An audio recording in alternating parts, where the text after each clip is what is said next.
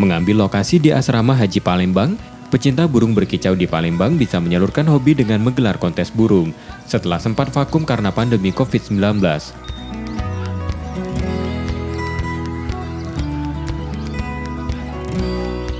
Kali ini dua kategori kontes yang digelar, yakni kicau dan kecantikan burung.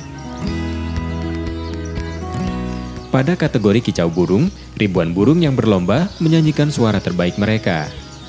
Beberapa jenis burung yang diperlombakan mulai dari murai batu, kacer, cuca ijo, lovebird, dan kenari. Sementara kontes kecantikan burung diikuti burung jenis lovebird. Penilaian diberikan berdasarkan aspek keindahan fisik burung, mulai dari paruh, bulu, hingga kaki. Gelaran ini diadakan dengan tetap menerapkan protokol kesehatan, yang mengharuskan peserta dan juri wajib memakai masker dan menjaga jarak. Alhamdulillah antusiasnya bagus banget. Ya kita juga ngadain event ini nggak nggak sembarang ada ngadain, nggak nggak selanang boy katanya. Kita terapkan social distancing, pakai masker kita wajibkan.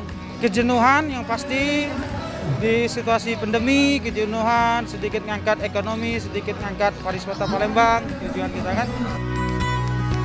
Selama pandemi, kemampuan kicau burung menurun karena jarang beradu tanding.